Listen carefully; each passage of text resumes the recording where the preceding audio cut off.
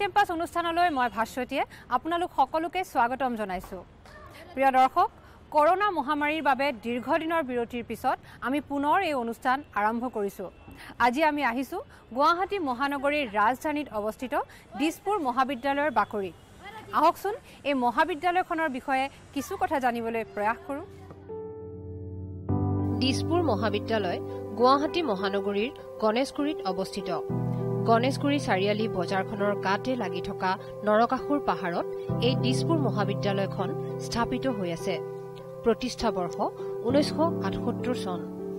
পোনপ্ৰথমে গোপাল বড়ো চৰকাৰী উচ্চতৰ মাধ্যমিক বিদ্যালয়ৰ চৌহদত ইভিনিং শ্বিফ্টত কলা শাখাৰ পাঠদান আৰম্ভ হৈছিল। দিছপুৰলৈ অসমৰ ৰাজধানীখন স্থানান্তৰিত হৈ অহাত উচ্চ শিক্ষাৰ শৈক্ষিক প্ৰতিষ্ঠান এখনৰ প্ৰয়োজনীয়তাৰ প্ৰতি লক্ষ্য ৰাখি পূৰ্বৰ অধ্যক্ষ আৰ কে হাজৰিকাৰ নেতৃত্বত গণ্যমান্য কেইবাজনো শিক্ষক আৰু স্বনামধন্য কেইবাজনো ব্যক্তিৰ প্ৰচেষ্টাত এই মহাবিদ্যালয়খন প্ৰতিষ্ঠা হৈছিল। গোপাল বড়ো চৰকাৰী উচ্চতৰ মাধ্যমিক শৈক্ষিক প্ৰতিষ্ঠানখনৰ প্ৰাংগণৰ পৰা নিজা বৰ্তমানৰ প্ৰতিষ্ঠিত হৈ থকা ঠাইখনলৈ ঊনৈছশ সাতাশী চনত এই মহাবিদ্যালয়খন স্থানান্তৰিত হৈছিল। শ্ৰী প্ৰভুদয়াল দুৱৰাৰ eastern agro processing and tea warehousing company operating society build world private limited আৰু গুৱাহাটী ৰিফাইনেৰীয়ে মহাবিদ্যালয়খন প্ৰতিষ্ঠাৰ বাবে আৰ্থিক সাহায্য আগবঢ়াই বিশেষ অৰিহণা আগবঢ়াইছিল। দিছপুৰ মহাবিদ্যালয় গুৱাহাটীৰ মাজমজিয়াত ৰাজধানী দিছপুৰৰ নিচেই কাষতে স্থাপিত এখন মহাবিদ্যালয়। এই মহাবিদ্যালয়ে ইতিমধ্যে দুকুৰি দুবছৰ পাৰ কৰিলে। ঊনৈছশ আঠসত্তৰ চনত আঠাইছ আগষ্টত যেতিয়া মহাবিদ্যালয় আৰম্ভ কৰা হৈছিলে তেতিয়া মহাবিদ্যালয়খনৰ এই ৰূপ নাছিলে।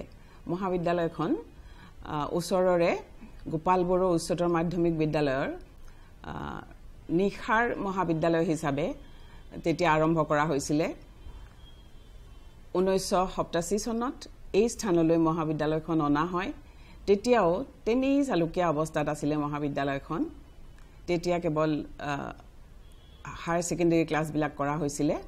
লাহে লাহে মহাবিদ্যালয়খন ডাঙৰ হ'বলৈ ধৰিলে। প্ৰত্যেকটো বিভাগতে যদি আমি ফলাফলৰ ক্ষেত্ৰত চাওঁ দেখা যায় যে প্ৰথম বিভাগত উত্তীৰ্ণ হোৱাৰ সংখ্যা যথেষ্ট বেছি বা বাঢ়ি গৈ আছে। আৰু যিটো উত্তীৰ্ণৰ হাৰ সদায়েই দেখা যায় বিশ্ববিদ্যালয়ৰ উত্তীৰ্ণ হাৰতকৈ আমাৰ কলা আৰু বাণিজ্য দুয়োটা শাখাৰে উত্তীৰ্ণৰ হাৰ সদায় ওপৰত থাকে। তেনেকৈ ইয়াৰ পৰা ওলাই গৈ তেওঁলোকে বিভিন্ন ধৰণৰ শিক্ষানুষ্ঠানত হয় এডমিশ্যন লয়। নহ'লে বিভিন্ন ক্ষেত্ৰত কৰ্মক্ষেত্ৰত তেওঁলোক জড়িত হৈ গৈছে। কিয়নো কলেজৰ এলুমিনাই এছ'চিয়েশ্যন আছে। আৰু তাৰ জৰিয়তে আমি খবৰ পাওঁ যে কমাৰ্চৰ বিভিন্ন বিভাগৰ পৰা ওলাই গৈ কেইবাগৰাকীও চি এ হৈছেগৈ আৰু প্ৰতিষ্ঠিত যিবিলাক মাল্টিনেশ্যনেল কোম্পানী আছে সেইবিলাকতো তেওঁলোকে গৈছে। আনকি কলা শাখাৰ পৰা তেনেকে গৈ পেলাই বহুতে অধ্যাপনা লৈছে। ঊনৈছশ আঠসত্তৰ চনত দহজন শিক্ষক আৰু এশজন ছাত্ৰ ছাত্ৰীৰে পাঠদান আৰম্ভ হৈছিল। ছাত্ৰ ছাত্ৰীৰ সংখ্যা ক্ৰমান্বয়ে বৃদ্ধি পাই অহাত ডে ছিফ্ট আৰু মৰ্ণিং ছিফ্ট দুয়োটা ছিফ্টৰ সংযোজন হ'ল। ঊনৈছশ একানব্বৈ বিৰানব্বৈ বৰ্ষত বাণিজ্য শাখা আৰম্ভ হয়। বৰ্তমানে পঁয়ত্ৰিশজন শিক্ষক শিক্ষয়িত্ৰী আৰু প্ৰায় এহেজাৰ আঠশ ছাত্ৰ ছাত্ৰী কলা আৰু বাণিজ্য দুয়োটা শাখাতে আছে। দুহেজাৰ তিনি আৰু দুহেজাৰ চাৰি বৰ্ষৰ পৰা স্নাতক পাঠ্যক্ৰমৰ কলা আৰু বাণিজ্য দুয়োটা শাখাৰ পাঠদান আৰম্ভ হৈছিল।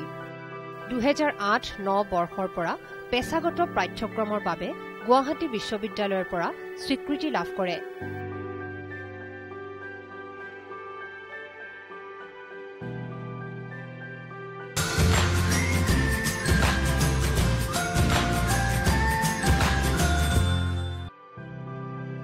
দিছপুৰ মহাবিদ্যালয় পুথিভঁৰালত কেইবা হাজাৰ পাঠ্যপুথি ৰেফাৰেন্স বুক আৰু অন্যান্য কিতাপ যেনে বিভিন্ন ধৰণৰ জাৰ্নেল আলোচনী আৰু বিভিন্ন বাতৰি কাকত প্ৰতিদিনে মহাবিদ্যালয়ৰ ছাত্ৰ ছাত্ৰী আৰু শিক্ষকসকলৰ বাবে উপলব্ধ থাকে।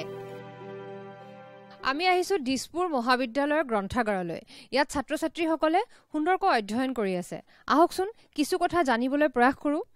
কি পঢ়ি আছা তুমি ইয়াত আৰু কি কিতাপ বিচাৰি আছা?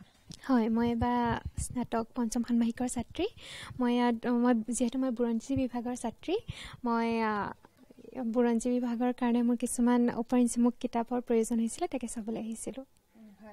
আৰু ইয়াতে পঢ়া শুনা কৰা কিতাপৰ উপৰিও নিজৰ শিক্ষাৰ যি ব্যৱস্থা তাৰ বাহিৰেও অন্তৰ্ভুক্ত নোহোৱা অন্য কিতাপো অধ্যয়ন কৰিবলৈ অহা নেকি? হয় হয়।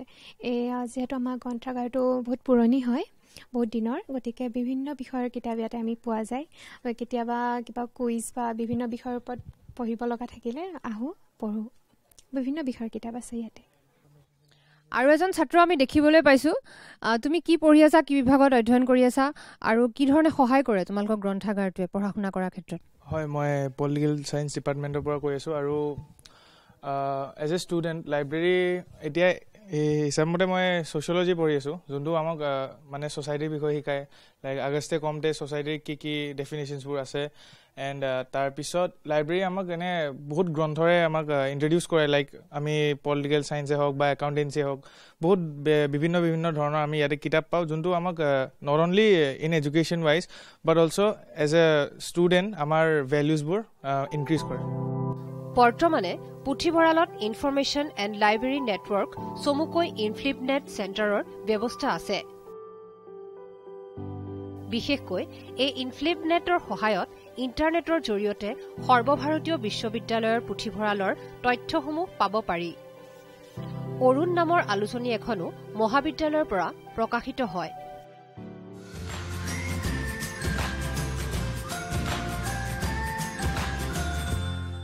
অন্যান্য মহাবিদ্যালয়ৰ দৰে দিছপুৰ মহাবিদ্যালয়তো এন চি চিৰ গোট আছে। আহকচোন তেওঁলোকৰ অনুশীলনৰ কিছু দৃশ্য প্ৰত্যক্ষ কৰোঁ। দিছপুৰ মহাবিদ্যালয়ত এন চি চি আৰু এন এছ এছ দুয়োটা গোট আছে। এই দুয়োটা গোটে ৰাজ্যিক আৰু সৰ্বভাৰতীয় পৰ্যায়ৰ কেম্পসমূহত যোগদান কৰি আহিছে।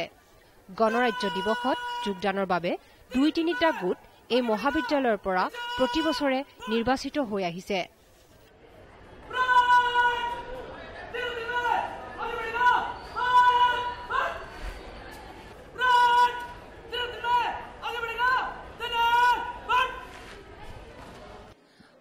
সুন্দৰকৈ আমি প্ৰত্যক্ষ কৰিলোঁ এই অনুশীলন তোমালোকৰ। জানিব বিচাৰিছোঁ তুমি কি ধৰণে প্ৰশিক্ষণ প্ৰদান কৰি আছা আৰু তোমালোকৰ মহাবিদ্যালয়খনৰ তৰফৰ পৰা এন চি চিয়ে কি কি কাম কৰিছে? কেনেধৰণে প্ৰশিক্ষণ প্ৰদান কৰে ইয়াত? ফাৰ্ষ্টলি মই মোৰ ইণ্ট্ৰডাকশ্যনটো দিওঁ। মই Dispur college N C C two thousand ছেভেণ্টিনত enrol হোৱা। প্ৰেজেণ্টলি মই দিছপুৰ কলেজ এন চি চিৰ কেডেট কেপ্টেইন হয়। মোৰ নামটো হ'ল কেডেট কেপ্টেইন আবু সাজিদ আহমেদ বৰভূঞা তো আমাৰ দিছপুৰ কলেজত এট প্ৰেজেণ্ট হাণ্ড্ৰেডটা কেডেটছ আছে তিনিটা ইয়াৰত first year second year and third year আৰু আমাৰ দিছপুৰ কলেজৰ পৰা বিভিন্ন কেম্পত আমি পাৰ্টিচিপেট কৰি আছোঁ আৰু আমাৰ সেই হিচাপত আমাৰ এচিভমেণ্টছো আছে। আমি ৰিচেণ্টলি আপোনাৰ লাষ্ট ইয়াৰ টুৱেণ্টি ছিক্স জানুৱাৰীত দিছ ইয়াৰ টুৱেণ্টি ছিক্স জানুৱাৰীতো আমি খানাপাৰাত প্ৰেক্টিছত আমি খানাপাৰা ড্ৰিল কম্পিটিশ্যনত আমি ট্ৰফি আনিছোঁ এন চি চিৰ ফালৰ পৰা। আৰু আমাৰ বাহিৰা কেম্পত স্পেচিয়েলি আমাৰ যিটো আৰ ডি চি চলি আছে ৰিপাব্লিক ডে' কেম্প দিল্লীত চলে সেইটোত এইবাৰো প্ৰত্যেকবাৰে আমাৰ কেডেট যায়। এইবাৰো আমাৰ গৈছে দুজন। আৰু আমাৰ আৰু বিভিন্ন কেম্পত যাওঁ আমি স্পৰ্টছ কেম্প থাকে যেনেকৈ আপোনাৰ চিল্কা কেম্প থাকে দেন আপোনাৰ আমাৰ নেভিৰ এটা স্পেচিয়েলাইজ কেম্প আছে নৌসৈনিক কেম্প বুলি। তো তাতেও আমাৰ বিভিন্ন কেডেট যাই থাকে।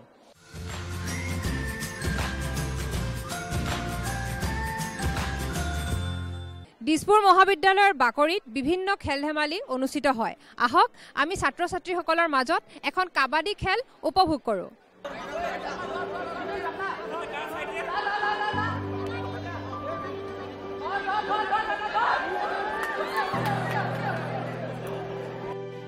দিছপুৰ মহাবিদ্যালয়ৰ ছাত্ৰ ছাত্ৰীসকলৰ মাজত cricket football volleyball badminton carrom chess basketball handball আৰু বিভিন্ন খেল ধেমালি অনুষ্ঠিত হয়। বহু সময়ত ছাত্ৰ ছাত্ৰীসকলে প্ৰতিযোগিতাসমূহত যোগদান কৰি মহাবিদ্যালয়খনলৈ সুনাম কঢ়িয়াই আনিবলৈ সক্ষম হৈছে।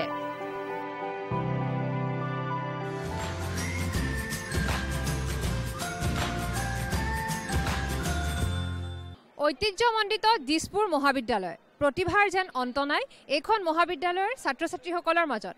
আহকচোন ছাত্ৰ ছাত্ৰীসকলৰ প্ৰতিভাসমূহ আপোনালোকক দেখুৱাওঁ। সাংস্কৃতিক দিশত আগবঢ়া দিছপুৰ মহাবিদ্যালয়ৰ ছাত্ৰ ছাত্ৰীসকল আহকচোন উপভোগ কৰোঁ এগৰাকী ছাত্ৰীয়ে পৰিৱেশন কৰা সত্ৰীয়া নৃত্য।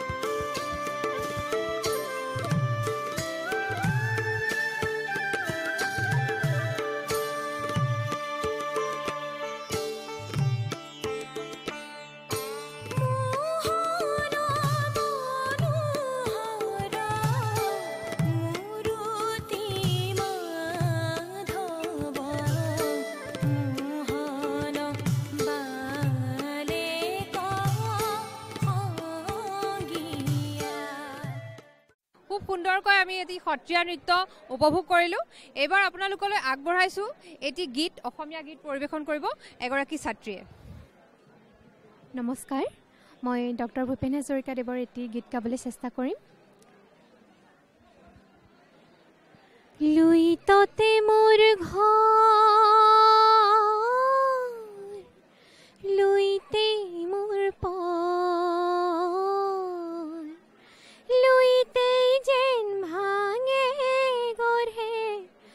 সপোন মৰমৰ লুইততে মোৰ ঘৰ লুইতে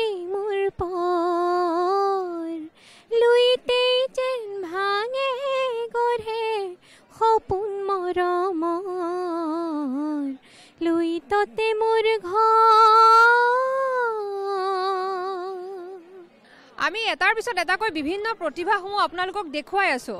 আমি জানিব বিচাৰিম ছাত্ৰ ছাত্ৰীসকলৰ কিছু মনৰ কথা। এজন ছাত্ৰ আছে তেওঁ খুব সুন্দৰকৈ মাস্ক পিন্ধি আছে এন নাইণ্টি ফাইভ মাস্ক জানিব বিচাৰিছোঁ যে কৰোণা মহামাৰীৰ প্ৰতিৰোধৰ বাবে মাস্ক ব্যৱহাৰ কৰা হৈছে চেনিটাইজাৰ ব্যৱহাৰ কৰা হৈছে। তোমালোকে কেনেধৰণে ইয়াক প্ৰতিৰোধ কৰিবলৈ কি কি ব্যৱস্থা গ্ৰহণ কৰিছিলা? বা মহাবিদ্যালয়ত বৰ্তমান কি কি ব্যৱস্থা আছে?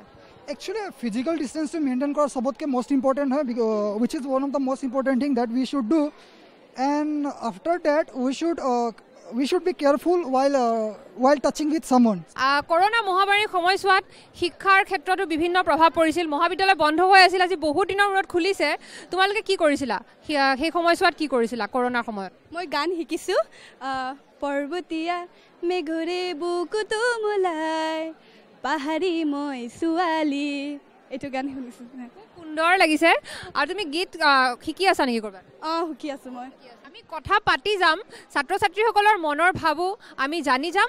তাৰ মাজে মাজে আমি প্ৰতিভাসমূহো দেখুৱাই যাম। এইবাৰ আপোনালোকলৈ আগবঢ়াইছোঁ অন্য এটি গীত। এইখনি গাঁও কুকুৰ আপুনি ইয়াতে দেখো।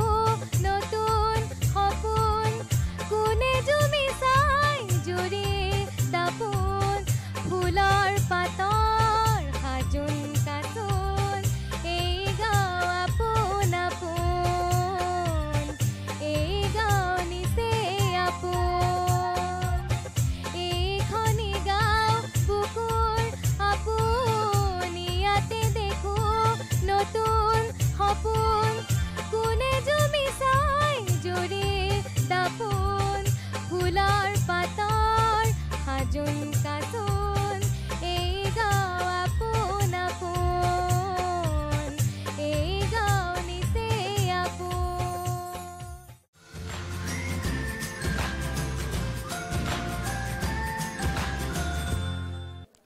মহাবিদ্যালয়খনৰ ছাত্ৰ ছাত্ৰীসকলৰ মাজত যিহেতু ছাত্ৰ একতা সভাৰ ছাত্ৰসকলো উপস্থিত আছে ছাত্ৰীও আছে ছাত্ৰ একতা সভাত আমি তেওঁলোকৰ মনৰ ভাৱ জানিব বিচাৰিম। সাধাৰণ সম্পাদক আমাৰ মাজত আছে। তোমালোকৰ মহাবিদ্যালয়খনত কেনেধৰণে তোমালোকে ছাত্ৰ একতা সভাৰ দ্বাৰা শৃংখলাবদ্ধতা নিয়ন্ত্ৰণ কৰা? আমাৰ মহাবিদ্যালয়ৰ শৃংখলাবদ্ধতাৰ ওপৰত শৃংখলাবদ্ধতাৰ ওপৰত কথা ক'ব গ'লে ধুনীয়া আমি গোটেইখিনি নিয়ম নিয়মাৱলীতাভাৱে আমি কি বুলি কয় আপোনাৰ কৰিছোঁ। ধৰক এডমিশ্যনৰ ওপৰত হওক বা বন্ধৰ ওপৰত হওক বা আপোনাৰ কলেজখনৰ যিকোনো ষ্টুডেণ্টৰ সমস্যাৰ ওপৰত আমি মাত মাতিছোঁ বা যিকোনো আহ, আপোনাৰ সমস্যা থাকিলে আমাক হেৰি কৰে কি ইনফৰ্ম কৰে। তো আমি ষ্টুডেণ্টখিনিৰ ওপৰত কি বুলি কয় আপোনাৰ সমস্যাৰ আমি সমাধান কৰিবলৈ চেষ্টা কৰোঁ। তোমাৰ পৰা জানিব বিচাৰিছোঁ যে যিহেতু এটা জাতিয়ে সাহিত্য সংস্কৃতিৰ যদি জাতি আগবাঢ়ে সাহিত্য সংস্কৃতিয়ে এটা জাতিৰ ভৱিষ্যত নিৰূপণ কৰে। গতিকে কি ক'ব বিচাৰিবা যে সাহিত্য সংস্কৃতি কিমান প্ৰয়োজন আৰু মহাবিদ্যালয়খনত তোমালোকৰ কি কি ব্যৱস্থা আছে? আলোচনী বিভাগৰ অন্তৰ্গত। আপোনাৰ ভাষা সংস্কৃতি বহুতেই প্ৰয়োজনীয়। আমাৰ যিটো আমাৰ ভাষা আছে ভাষা আমাৰ অসমীয়া জাতিটো এটা এনাজৰী বুলি ক'ব পাৰি যে ভাষাটো এটা জ- জনগোষ্ঠীক ধৰি ৰাখে। আপোনাৰ বহুত প্ৰয়োজনীয়। আমাৰ মানে আলোচনী বিভাগত আপোনাৰ যিটো মানে লিখা মেলা ধৰি লওক ৱাল মেগাজিন ধৰি লওক ৱাল মেগাজিনতো সেইবিলাক আমাৰ দৰ্শোৱা হয় যে ধৰি লওক কিমান প্ৰয়োজনীয়। তাৰ আমাৰ বহুত এটা বিষয় বাছি দিয়া হয় একচুৱেলি বিষয়টো আপোনাৰ ল'ৰা ছোৱালীবিলাকে সেই ধৰি পেলাই যে তেওঁলোকে লিখা মেলা কৰে। তো সেই লিখা মেলাৰ মাজতে আৰু সাহিত্য সংস্কৃতি আগুৱাই নিবলৈ আমি হেৰি কৰোঁ আৰু। নিশ্চয় আমি ছাত্ৰ ছাত্ৰীসকলৰ লগত কথা পাতি যাম। কিন্তু এইবাৰ আপোনালোকলৈ আগবঢ়াব বিচাৰিছোঁ এটি গীত।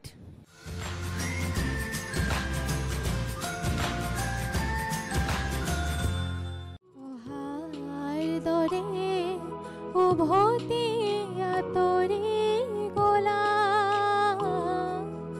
বাত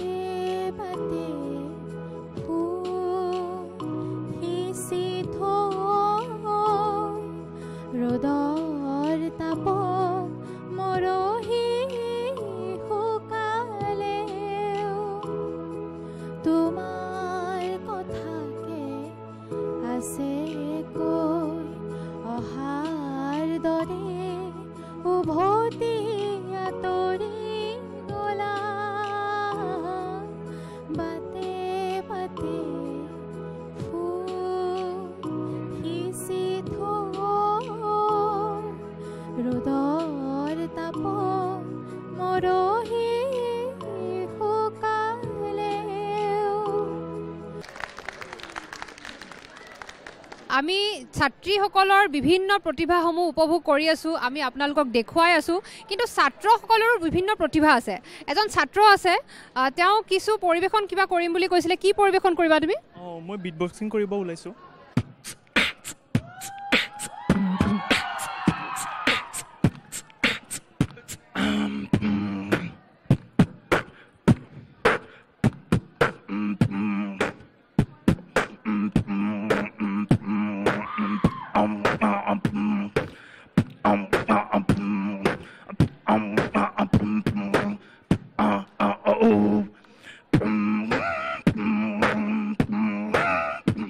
ছাত্ৰ একতা সভাৰ এজন সদস্য আছে। কি তুমি গীত পৰিৱেশন কৰিবা আমি অলপ শুনিব বিচাৰিম। হয় মই জয়ন্ত হাজৰিকাদেৱৰ সুৰাত মগন ভয়াল ৰাতি গীতটি পৰিৱেশন কৰিব বিচাৰিছোঁ। সুৰাত মগন ভয়াল ৰাতি মৌন কোলাহ। মই যেনে ৰ'দৰ বিলাক শব্দৰ সমদ চন্দ্রতরা, থাপ মারি আনি, থেকেছি পেলাবর সূর্যমুখী সজাব কাহানি বেথার সমাধিত। সগুণে সদায়ে সভাকে পাতে, ভাষণ আমাৰ মাজত এগৰাকী ছাত্ৰী আছে তেওঁ অভিনয় কৰি দেখুৱাব। এগৰাকী ছাত্ৰী তেওঁ অভিনয় কৰে। জানিব বিচাৰিছোঁ কি পৰিৱেশন কৰিবা তুমি আজি আমাৰ মাজত? মই কোকৰাঝাৰত যিটো গোষ্ঠী সংঘৰ্ষ হৈছিল তাৰ ওপৰত এটা অভিনয় কৰিম বুলি ভাবিছোঁ। ইমান কাম কৰিব লাগে। আজি মেডামহঁতো ঘৰত নাই। ল'ৰা ছোৱালীকেইটাৰ লগত ফুৰিবলৈ গৈছে। আমাৰোতো এখন ঘৰ আছিল। ময়ো মা বাবাৰ লগত ফুৰিবলৈ গৈছিলোঁ। কিমান যে ভাল লাগিছিল। মোৰ ঘৰ কোকৰাঝাৰত। তাত মা আছিল বাবা আছিল আবু আছিল আৰু আৰু আমাৰ মৰমৰ কণমানি শান্তিজনী। আমি আমি কিমান ফূৰ্তি কৰিছিলোঁ। এদিনাখন ৰাতি আবু আৰু মই চোতালতে বহি সাধুৰ কথা শুনি আছিলোঁ। ঠিক ঠিক তেনে এটা সময়তে মই মই কিছুমান হৰিহালৰ শব্দ শুনা পাইছিলোঁ। বাৰীৰ এটা ফালৰ পৰা কিছুমান কিছুমান পোহৰ দেখিছিলোঁ। আৰু আৰু মই কিবা বুজি পোৱাৰ আগতে মায়ে দৌৰি আহি মোৰ হাতত টাচ মাৰি ধৰি কৈছিল ৰত্না বলা মই দৌৰিছিলোঁ দৌৰিছিলোঁ দৌৰি দৌৰি মই মই বাৰীৰ গছৰ জোপোহাতেৰে লুকাই আছিলোঁ আৰু আৰু তাৰ পৰা দেখিছিলোঁ আমাৰ ঘৰটো ডাঙৰ ডাঙৰকৈ জ্বলি উঠিছে আৰু আৰু সেই জুইৰ পৰত দেখিছিলোঁ দুজন মানুহ মোৰ ফালে আগুৱাই আহিছে মই সিহঁতক আগপিনে ধৰি কৈছিল ৰত্না বলা এয়া আমি উপভোগ কৰিলোঁ এটি অভিনয়। আপোনালোকলৈ আগবঢ়াইছোঁ এটি কবিতা আবৃত্তি। ৰাধা বজোৱা বাহি। কৃষ্ণ নাই নোৱাৰোঁ। ৰাধা কানাই এবাৰতো বজোৱা। কৃষ্ণ তুমি জানা তোমাৰ পৰা কায়িকভাৱে আঁতৰি অহাৰ দিনাই মই বাঁহী ত্যাগ কৰিছোঁ। সুদৰ্শন লোৱা হাতত বাঁহী অসম্ভৱ। ৰাধা আজিও তোমাৰ দ্বাৰকাধীশ সেই বৃন্দাবনৰ নিশাৰ দৰে একেই জোন। একেই ৰহস্যময়ী যেন মধুবন। মৃত্যুৰ আগত হেঁপাহ তোমাক চোৱাৰ। হয়তো এই পূৰ্ণিমাৰ নিশা মোৰ বাবে জীৱনৰ অন্তিম নিশা। শেষবাৰৰ বাবে মই বিচাৰিছোঁ বাঁহীৰ মাদকতা মায়াময় মুগ্ধতা অতীন্দ্ৰিয় সমাধিৰ আকাংক্ষা।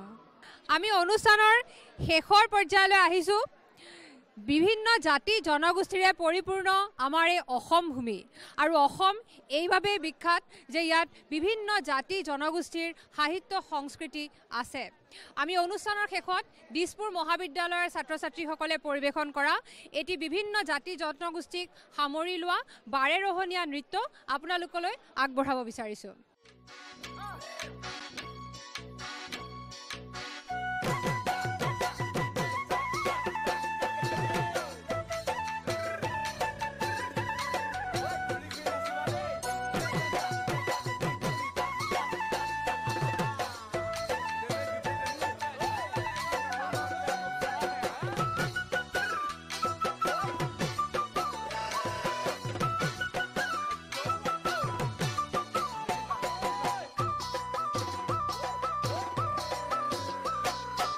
মন চেঙেলীয়া দেহা মন উতলা মন উৰু উৰু কৰে ঐ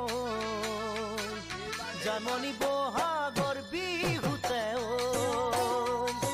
মন চেঙেলীয়া দেহা মন উতলা মন উৰু উৰু কৰে জাননী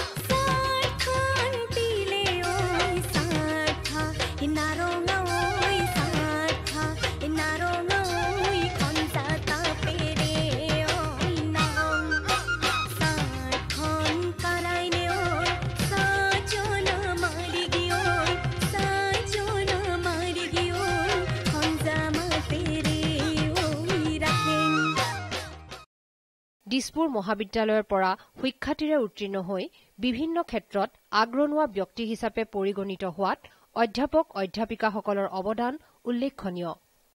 দিছপুৰ মহাবিদ্যালয়ৰ ছাত্ৰ কল্যাণ বিষয়া ডক্টৰ হিমাংশু কলিতা আমাৰ সৈতে আছে। তেখেতৰ পৰা জানিব বিচাৰিছোঁ কিছু কথা।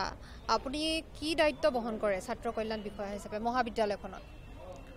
আচলতে ছাত্ৰ কল্যাণ বিষয়া হিচাপে মহাবিদ্যালয়ৰ এটা ডাঙৰ গুৰু দায়িত্ব থাকে। আৰু এই দায়িত্বৰ ভিতৰত ছাত্ৰ ছাত্ৰীসকলৰ উত্তৰোত্তৰ খেল ধেমালিৰ পৰা আৰম্ভ কৰি নাচ গান সকলো ক্ষেত্ৰতে তেওঁলোকক আগবঢ়াই নিয়াটো হৈছে ছাত্ৰ কল্যাণ বিষয়াৰ মূল উদ্দেশ্য। আৰু সেইমতে বিভিন্ন অনুষ্ঠান মহাবিদ্যালয়ত হওক বা মহাবিদ্যালয়ৰ বাহিৰত যিবিলাক প্ৰতিযোগিতা অনুষ্ঠিত হয় গুৱাহাটী বিশ্ববিদ্যালয়ৰ অধীনত যিবিলাক আমাৰ যুৱ মহোৎসৱ আয়োজিত হয় এই সকলোবিলাকত ছাত্ৰ ছাত্ৰীসকলক আগবঢ়াই নিয়াটোৱে হৈছে ছাত্ৰ কল্যাণ বিষয়াৰ মূল উদ্দেশ্য। গতিকে সেই হিচাপে আমি আমাৰ দিছপুৰ মহাবিদ্যালয়ৰ ছাত্ৰ ছাত্ৰীসকলক আগবঢ়াই নিবলৈ যৎপৰোনাস্তি চেষ্টা কৰিছোঁ আৰু তেওঁলোকৰ বিভিন্ন খেল ধেমালি পঢ়া শুনাৰ পৰা খেল ধেমালি নাচ গান সকলো ক্ষেত্ৰতে আগুৱাই নিয়াৰ বাবে আমি কাম কৰি আছোঁ। প্ৰিয় দৰ্শক আজিৰ অনুষ্ঠানত আমি আপোনালোকক দিছপুৰ মহাবিদ্যালয় দেখুৱালোঁ। অহা সপ্তাহত পুনৰ অন্য এক শিক্ষানুষ্ঠানত লগ পোৱাৰ প্ৰতিশ্ৰুতিৰে আজিলৈ মই ভাস্বতীয়ে বিদায় লৈছোঁ। কিন্তু চাবলৈ নাপাহৰিব ডি ডি আছামত ধন্যবাদ।